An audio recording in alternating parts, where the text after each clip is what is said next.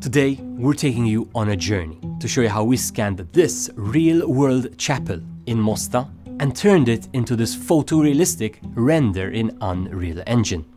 Now this highly digital process actually starts off from some very practical on-location shooting. Make sure you like and subscribe, let's dive right in. So here's everything we're taking with us today. We've got our drone and our drone our drone permits because we're flying right next to a restricted area.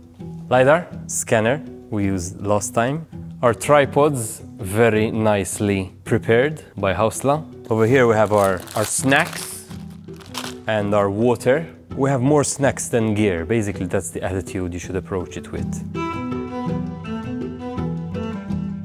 We're going to the Mosta Bridge. Once you hike for a bit, there's this chapel, which is built inside a cave.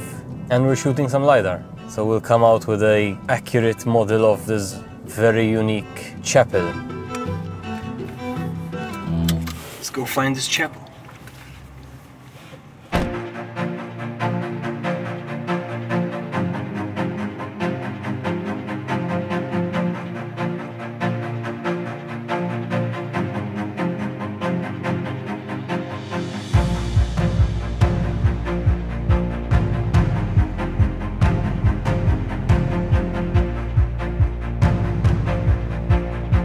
So we finished the LiDAR, we finished the photogrammetry. It's getting dark, so we're getting out of here before we can't see where we're going.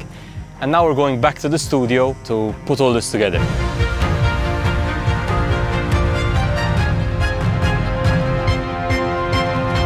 If you enjoyed today's episode, make sure you hit that like button below to check out the full and final render, which you've just gotten a little glimpse of. It is being linked in the description below. Location scanning. Now that's some movie magic.